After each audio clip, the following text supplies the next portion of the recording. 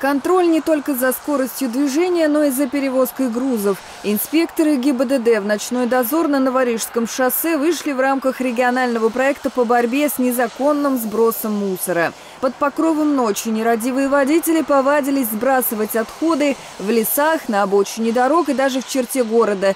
Красногорск в зоне риска. На границе с Истринским городским округом сегодня дежурят и местные активисты.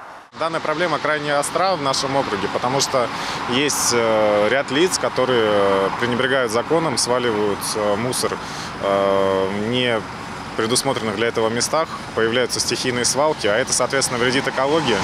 И подобные рейды крайне важны, дабы у жителей, граждан, возможно, каких-либо компаний появилась сознательность в плане того, что необходимо беречь природу, экологию, так как это наш дом.